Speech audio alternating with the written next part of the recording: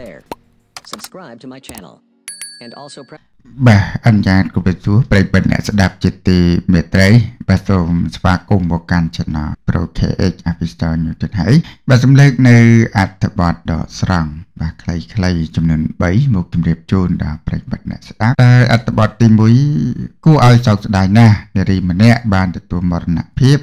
ចៅស្វាមីនិងកូនស្រីដែលនៅតូច ដោយសារតែជំងឺនេះបាទប្រិមិត្តបានទស្សនាក្នុងរូបថតហើយឃើញថាប្អូនស្រីយុវតីវ័យក្មេងស្រស់ស្អាតម្នាក់បានទទួលមរណភាពបាទទាំងវ័យក្មេង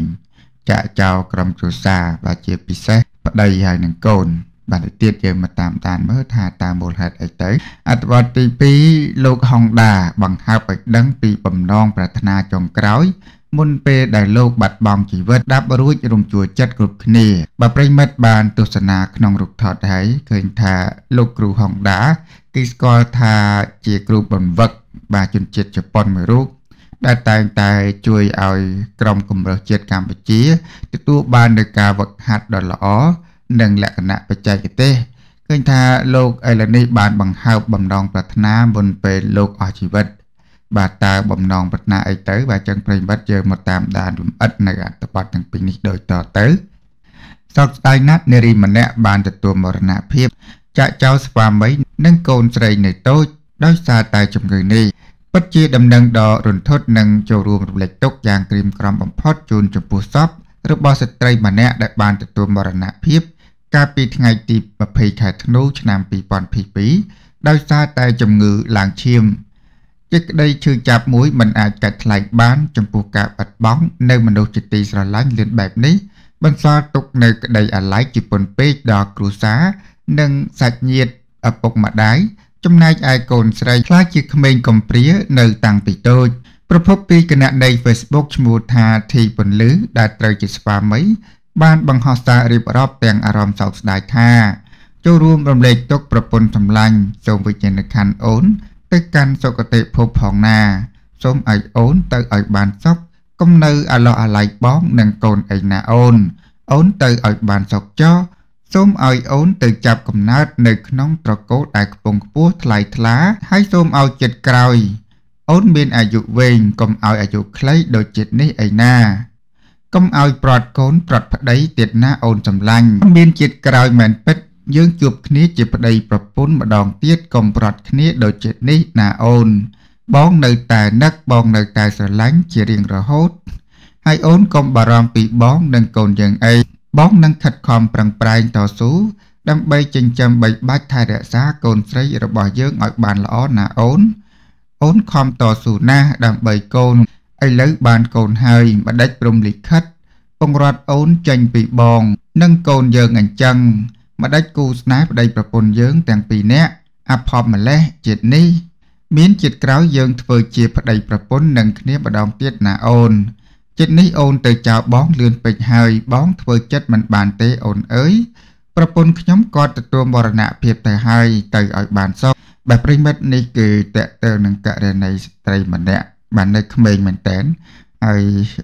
ដោយសារតែជំងឺឡើងឈាមបាទគាត់ក៏បានទទួលមរណភាព ហើយខ្ញុំបាទមានតែចូលរួមរំលែកទុកដល់ក្រុមគ្រួសារសព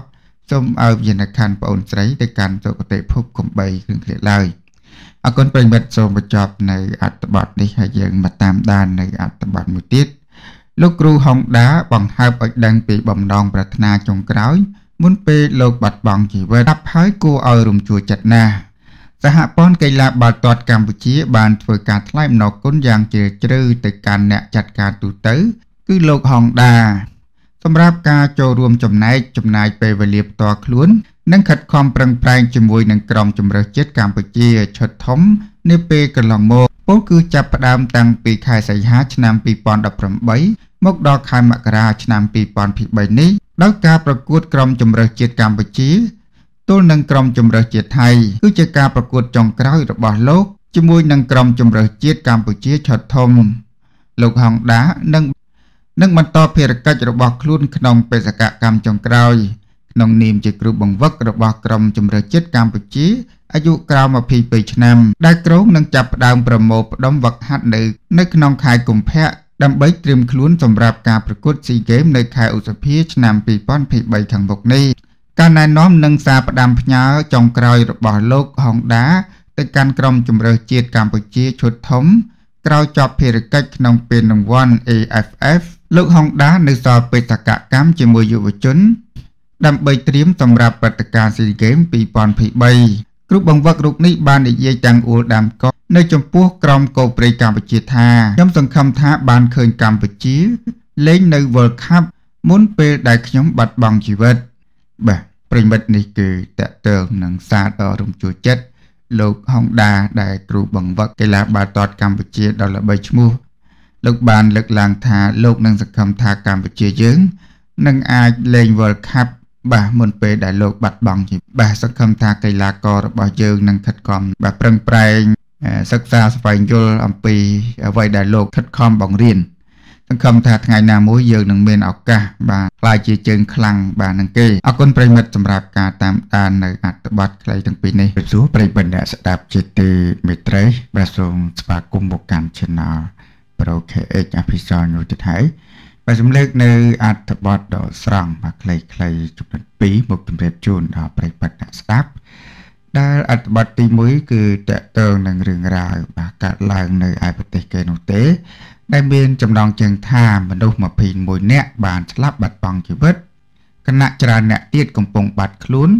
នៅក្នុងហេតុការណ៍រអិលបាក់ដីនៅប្រទេសម៉ាឡេស៊ី បាទប្រិមិត្តនេះគឺតកតើនឹងជំវិញព្រឹត្តិការណ៍ដែលបានកើតឡើងនៅឯប្រទេស បាទម៉ាឡេស៊ីនោះមានហេតុការណ៍បាក់រអិលដី បាទសកត់លើប្រជាពលរដ្ឋបាទរហូតដល់ស្លាប់បាត់បង់ជីវិតដល់ទៅ21នាក់និងបាត់ខ្លួនបាទជាច្រើនអ្នកបាត់ទៀតយើងមកតាមដានលំអិតបន្ថែមអត្ថបទទី2អបអរសាទរទីបំផុតគ្រួសារលោកដួងឆាយបានជួបជុំគ្នាវិញហើយ ហើយថែមទាំងរួមគ្នាធ្វើពិធីបុកគ្រឹះមួយទៀតរហូតដល់អ្នកគ្រប់គ្រងលន់មាត់បែបនេះថាបាទតើអ្នកគ្រប់គ្រងបានលន់មាត់បែបណា ក្រោយពីឃើញលោកដួងឆាយនិងបងប្អូនរបស់លោក និងឪពុករបស់លោក បាទជួបជុំគ្នាវិញនោះបើចឹងប្រិមិត្តយើងមកតាមដានលំអិតនៅអត្ថបទទាំងពីរនេះដូចតទៅ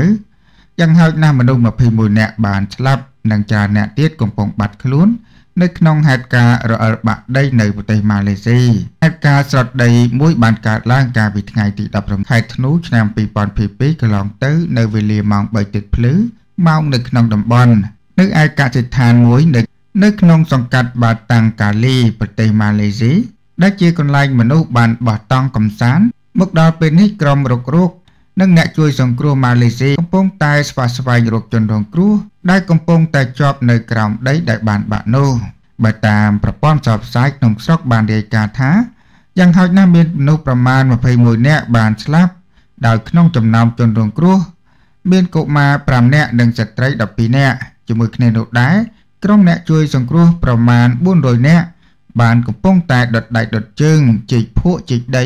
ដើម្បីស្វែងរកមនុស្ស 12អ្នកផ្សេងទៀតកំពុងបាត់ខ្លួននាយកដ្ឋានពលរដ្ឋអគិភ័យនិងជួយសង្គ្រោះរបស់ប្រទេសម៉ាឡេស៊ីបាននិយាយថា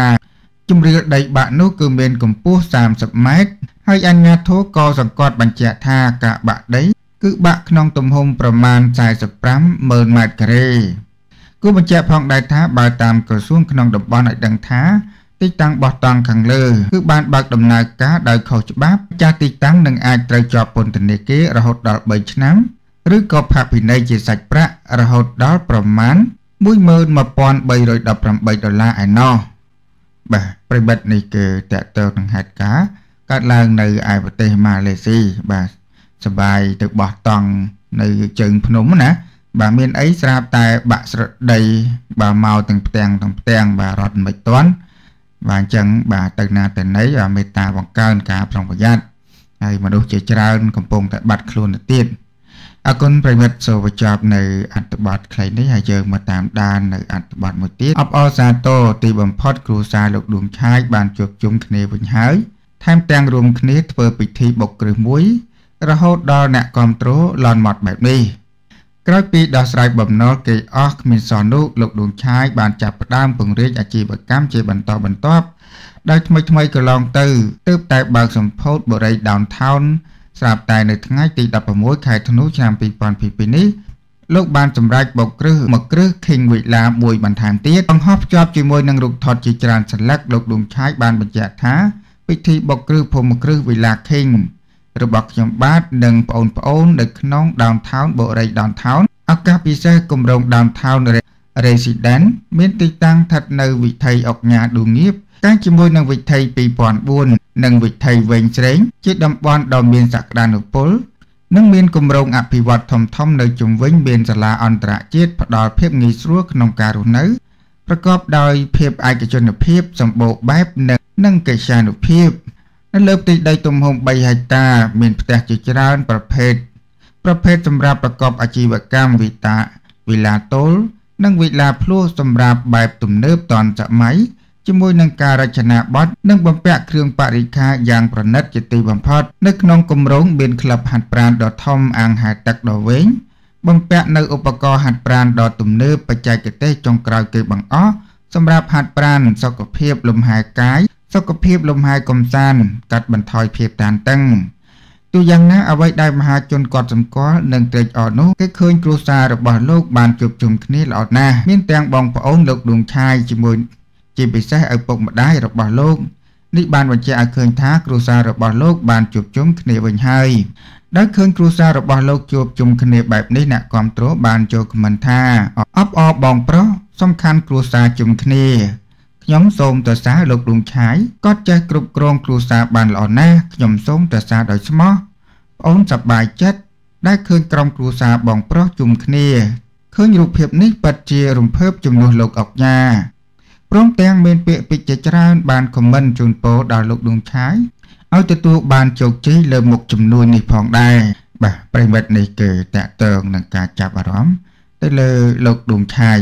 ដែលកន្លងទៅថ្មីថ្មីនេះលោកបានបង្ហោះរូបថតបាទបុកគ្រឹះសាងសង់ផ្ទះវិឡាលក់ណាបាទហើយក្នុងនោះអ្វីដែលចាប់អារម្មណ៍ឃើញថាមានលោកប៉ាបាទលោកអុកញ៉ាដួងងៀបណាបាទក្រោយពីមានរឿងរ៉ាវបាទក្តីក្តាំងផ្ដាំងផ្ដាល់ ក្តីក្តាំងប្តឹងផ្ដាល់បាទជាមួយនឹងភរិយាផង